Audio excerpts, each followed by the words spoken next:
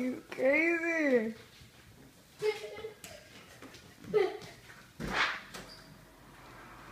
hey!